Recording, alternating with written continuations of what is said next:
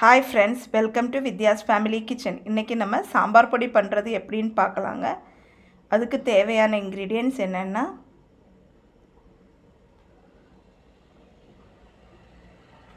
மல்லி. ஃபஸ்ட்டு வந்து நான் மஞ்சள் எடுத்திருக்கேன். மல்லியோட காயவும். மல்லி காயம் மிளகு ரெட் சில்லி அதை வந்து காம்பு கிள்ளி வச்சுருக்கேன் நான்.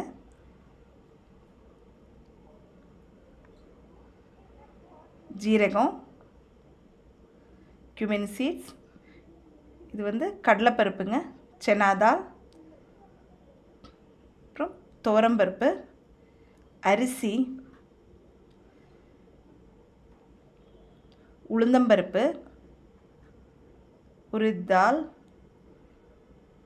வெந்தயம் பெப்பர் கருவேப்பிலை. எப்படி செய்யணும்னு பார்க்கலாங்க.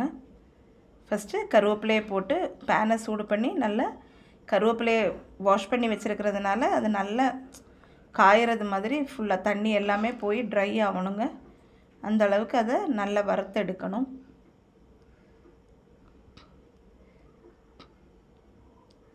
பாருங்கள் ஒத்த ஒத்தையாட்டம் ஆகி நல்லா தொட்டாலே பொடிகிறது மாதிரி அளவு ஆயிடுச்சு. அதை நம்ம ட்ரான்ஸ்ஃபர் பண்ணிடலாம் ஒரு பிளேட்டில் இனி நான் வந்து மல்லியை தனியாக வறுத்து எடுத்துருக்கணும்.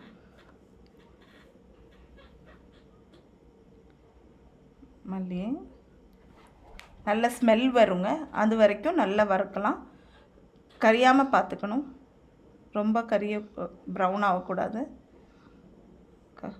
நல்ல கோல்டன் ப்ரௌன் ஆனதுமே எடுத்துடலாம். அதோட ஜீரகம் அடுத்தது. ஜீரகம் வந்து நம்ம பொட்டி பொட்டி தெரிக்கும்ல அந்த மாதிரி பாப்பப் ஆகும்போது நல்ல பாப்பப் ஆனதும் நம்ம அதையும் எடுத்துடலாம்.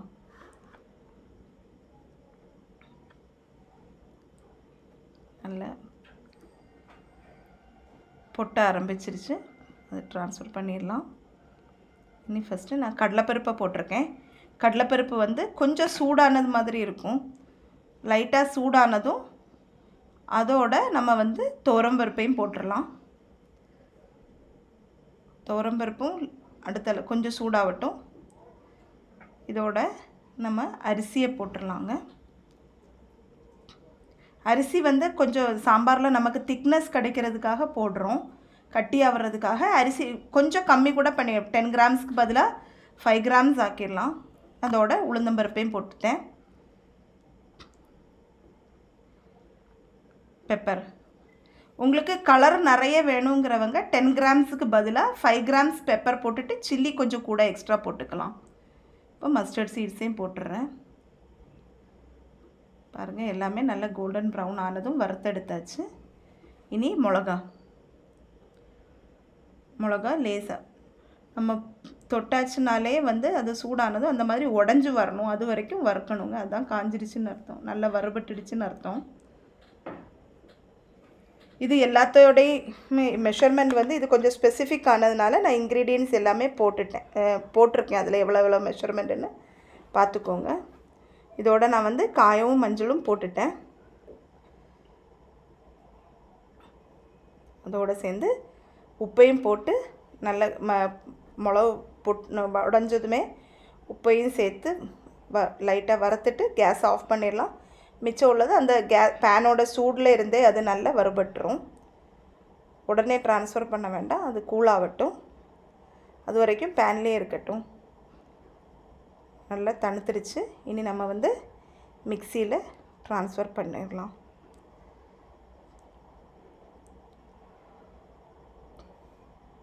பாருங்கள் ஃபுல்லாகவே ஃபஸ்ட்டு கொஞ்சம் ம கா மஞ்சள்லாம் வந்து துண்டு துண்டாக இருக்கிறதுனால மஞ்சளும் காயவும் மிளவையும் உப்பை எல்லாம் சேர்த்து போட்டு முதல்ல ஒரு தடவை நல்லா பொடிச்சிடலாம்.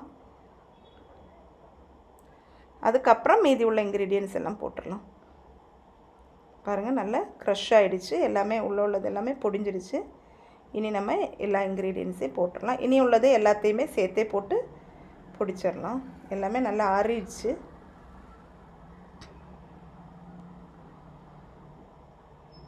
கொஞ்சம் நிறுத்தி நிறுத்தி. நல்லா நம்ம நல்லா வறுத்துட்டோன்னா அது வந்து சீக்கிரமாகவே பொடிஞ்சிரும்.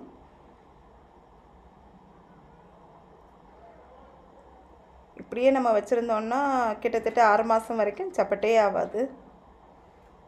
பாருங்கள் இந்த மாதிரி பொடிச்சதை நல்ல ஒரு கிளாஸ் கண்டெய்னரில் இல்லைன்னா பாட்டிலில் போட்டு அடைச்சி வச்சுருந்தா ஆறு மாதம் வரைக்கும் கெட்டு போகவே செய்யாது ஈஸியான முறையில் வீட்டிலேயே தயார் பண்ண சாம்பார் பொடிங்க.